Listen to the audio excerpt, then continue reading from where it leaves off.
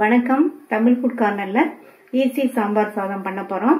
இந்த சாம்பார் சாதத்துக்கு ரொம்ப மெனக்கிட வேண்டியதில்லை. இந்த குக்கர்ல ஒரு கப் புழுங்கல் அரிசி ரெகுலரா சாதத்துக்கு யூஸ் பண்ற அரிசி அதை சேர்த்துட்டு அதே கப்ல அரை கப் துவரம் பருப்பு. அரிசி இரநூறு கிராம் இருக்கும் துவரம் பருப்பு நூறு கிராம் இருக்கும். ரெண்டையுமே ரெண்டு மூணு தடவை வாஷ் பண்ணிக்கலாம். கழுவியாச்சு தண்ணி சேர்க்கணும். ஒரு கப் அரிசியும் அரை கப் துவரம் பருப்பும் எடுத்தோம். இதுக்கு நாலு பங்கு தண்ணி சேர்க்கணும். அப்போ ஒன்றரை கப்புக்கு ஆறு கப் தண்ணி வரும். ஆறு கப் தண்ணி சேர்த்துடலாம். அரிசி எடுத்த கப்பில் ஆறு கப் தண்ணி. சாம்பார் சாதம் தளதளன்னு இருந்தால் தான் நல்லாயிருக்கும். அதுக்காக தான் தண்ணி நம்ம ஆறு கப் சேர்க்குறோம். இந்த அரிசியும் பருப்பும் பதினஞ்சு நிமிஷம் ஊறட்டும். அரிசியும் பருப்பும் பதினஞ்சு நிமிஷம் ஊறிடுச்சு. இது கூட ரெண்டு மீடியம் சைஸ் தக்காளி கட் பண்ணது.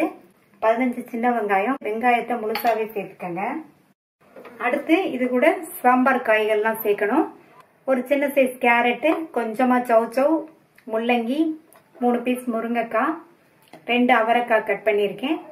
ஒரு நாலு பீன்ஸ் கட் பண்ணியிருக்கேன். நீங்க வந்து சாம்பார் காய் எதுனாலும் சேர்த்துக்கங்க. ரெண்டு பச்சை மிளகாவை சேர்த்துட்டு சாம்பார் காய்கள் எல்லாத்தையும் சேர்த்துடலாம். பச்சை மிளகாவை கீரி சேர்த்துக்கங்க.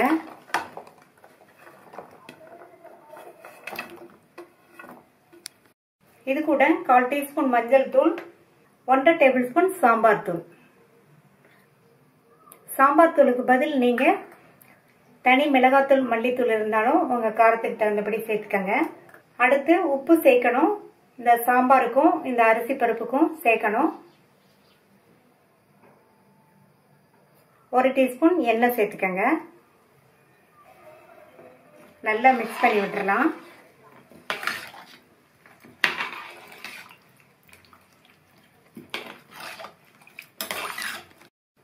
இப்போ மூடி போட்டு ஸ்டவ்ல வச்சு ஸ்டவ் ஆன் பண்ணியாச்சு. ஸ்டீம் வந்ததுக்கு அப்புறமா வெயிட் போட்டு மீடியம் ஃப்ளேம்ல அஞ்சு விசில் வேக வச்சுக்கலாம். மீடியம் ஃப்ளேம்ல அஞ்சு விசில் வந்துடுச்சு. ஸ்டீம்லாம் போயிடுச்சு. அரிசி பருப்பு காய் எல்லாமே கரெக்டா வெந்திருக்கு. நல்லா தலை தலைன்னு இருக்கு.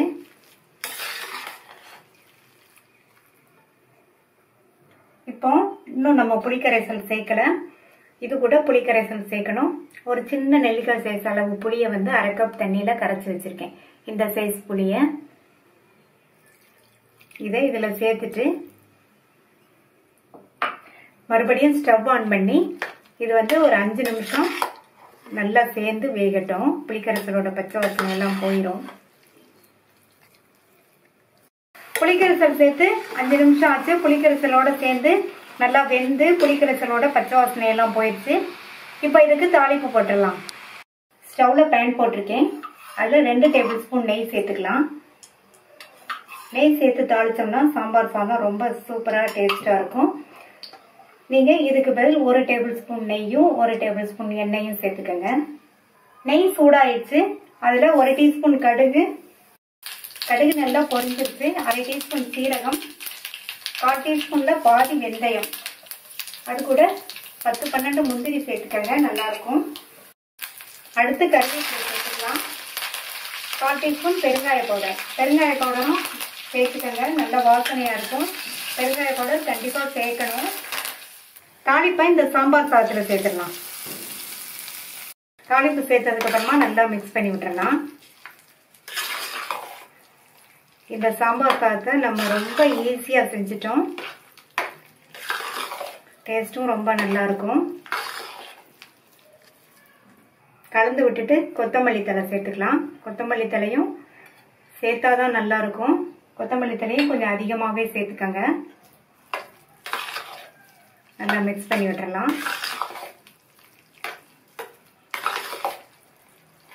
ரொம்ப சுவையான ஈஸி சாம்பார் சாதம் ரெடி ஆயிடுச்சு.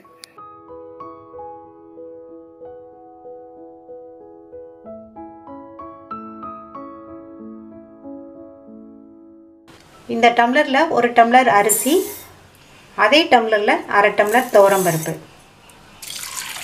இதை நல்லா ரெண்டு மூணு தடவை வாஷ் பண்ணிவிட்டு அரை மணி நேரம் ஊற வச்சுக்கலாம். ஸ்டவ்வில் குக்கர் போட்டிருக்கேன். அதில் ஒரு டேபிள் ஸ்பூன் எண்ணெய் விட்டு சூடாயிடுச்சு. அதில் அரை டீஸ்பூன் கடுகு. கொஞ்சமாக வெந்தயம் சேர்த்துக்கோங்க வாசனைக்கு. கால் டீஸ்பூனில் பாதி சேர்த்துருக்கேன். அதே மாதிரி சீரகம் கொஞ்சம். எல்லாமே நல்லா பொரிஞ்சிருச்சு. கறிவேப்பிலை சேர்த்துக்கலாம். பத்து பன்னெண்டு போல் சின்ன வெங்காயத்தை தோல் விரித்து முழுசாக வச்சுருக்கேன். சேர்த்துடலாம். கூடுமான அளவு சின்ன வெங்காயம் இருந்தால் சேர்த்துக்கோங்க. சப்போஸ் இல்லைன்னா பெரிய வெங்காயம் சேர்த்துக்கோங்க. கொஞ்சம் பெருசாகவே கட் பண்ணிக்கோங்க. இது கூட ரெண்டு பச்சை மிளகாவை கீறி வச்சுருக்கேன். அதையும் சேர்த்துடலாம். இந்த வெங்காயத்தை கொஞ்சம் வதக்கி விட்டுக்கணும். வெங்காயம் கொஞ்சம் வதங்கிடுச்சு. இந்த சின்ன வெங்காயம் வந்து சாம்பார் சாதத்துக்கு நல்ல டேஸ்ட் கொடுக்கும். ரெண்டு மீடியம் சைஸ் தக்காளியை கட் பண்ணி வச்சுருக்கேன். அதையும் சேர்த்துடலாம். தக்காளி வ வதங்கிறதுக்கு கொஞ்சமாக உப்பு. தக்காளியை ஒரு நிமிஷம் போல் வதக்கி விட்டுக்கணும். அது கூட கால் டீஸ்பூன் மஞ்சள் தூள் கால் டீஸ்பூன் பெருங்காய பவுடர் ஒன்றரை டேபிள் ஸ்பூன் அளவுக்கு சாம்பார் தூள். சாம்பார் தூளுக்கு பதில் நீங்கள் தனி மிளகாத்தூள் கொத்தமல்லி தூள் இருந்தாலும் சேர்த்துக்கலாம். உங்கள் காரத்துக்கு தகுந்தபடி மிளகாத்தூள்லாம் சேர்த்துக்கோங்க. மசால் தூள்லாம் சேர்த்ததுக்கப்புறமா கொஞ்சமாக தண்ணி தெளித்து அதனுடைய பச்சை வாசனை போகிற அளவுக்கு வதக்கிக்கணும். ஒரு நிமிஷம் போல் வதக்கி விட்டாச்சு. இது கூட நான் வந்து கேரட் சவுச்சவு கொஞ்சம் ஒரு கத்திரிக்காய் ஒரு உருளைக்கிழங்கு. மூணையும் கட் பண்ணி வச்சுருக்கேன். நீங்கள் வந்து சாம்பாருக்கு போடுற காய் எந்த காய் வேணாலும் உங்கள் விருப்பப்படி சேர்த்துக்கோங்க. இந்த காயையும் இதிலேயே நல்லா வதக்கி விட்டுக்கலாம். காய்கள்லாம் வதக்கி விட்டாச்சு. ஒரு சின்ன நெல்லிக்காய் சைஸ் அளவு புளியை வந்து ஊற வச்சு கரைச்சி வச்சுருக்கேன். அதை சேர்த்துடலாம். சேர்த்ததுக்கப்புறமா இந்த புளியோட பச்சை வாசனை வந்து போகிற அளவுக்கு ஒரு நிமிஷம் அல்லது ரெண்டு நிமிஷம் இது கொதிக்கட்டும். புளிக்கரைசல் சேர்த்து ரெண்டு நிமிஷம் ஆச்சு. அதனுடைய பச்சை வாசனை போயிடுச்சு. இப்போ தண்ணி சேர்க்கணும். ஒரு கப் அரிசியும் அரை கப் துவரம்பருப்பும் எடுத்தோம். மொத்தம் ஒன்றரை கப்பு ஒன்றரை கப்புக்கு நாலு மடங்கு தண்ணி சேர்க்கணும். அப்போது ஆறு டம்ளர் தண்ணி சேர்த்துக்கலாம்.